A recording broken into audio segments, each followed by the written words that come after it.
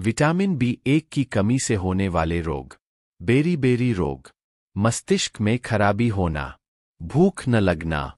याददाश्त कम हो जाना। दिल की कमज़ोरी। ऐसे ही वीडियो देखने के लिए चैनल को सब्सक्राइब